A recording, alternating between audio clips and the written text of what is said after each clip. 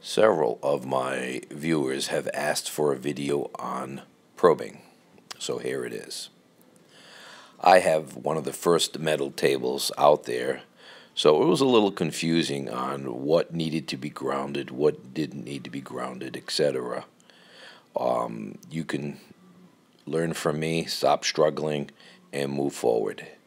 Probing is one of the best things that you can do on your machine. Thankfully, the electronics are already included with the probing capability. Just attach two wires, one to the probe and one to the ground. You can make it as fancy as you want. Now, it all starts with opening up carbide motion, getting the command line by quitting and typing M.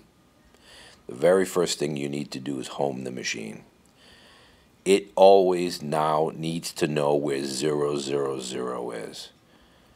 So if you've accidentally had the machine touching a limit switch when you last cleaned it, very simple fix. Just hand, turn it off, move the machine away, and then rehome it. Now, once you've homed, you need to wrap it over to your work part. I have a tendency to do Z-axis first it's just a personal preference. It doesn't matter whether you do X, Y, or Z. It also doesn't matter whether you go in a negative direction or a positive direction. Uh, again, personal preference. If I'm using a vice, clearly I'm always against a solid jaw, but here is a, a part just randomly placed on the table, and I will be probing my Z first, as you can see. Now, since I have the metal table, I attach my ground to the belt tightener in the front right hand corner. And then the second probe, the positive probe, just goes to the cutter. Doesn't matter if it's coated or uncoated. It also doesn't matter if you reverse the leads. It's just proximity.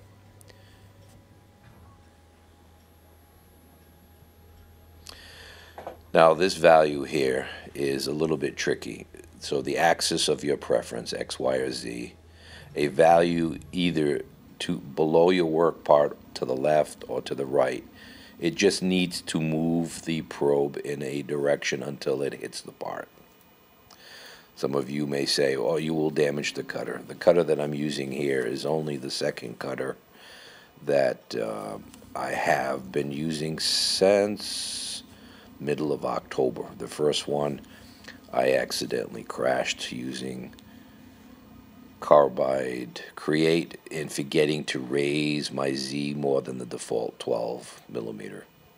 It still can be used, needs to be resharpened, and I'm going to show you that on a future video, how to cheaply resharpen your cutters.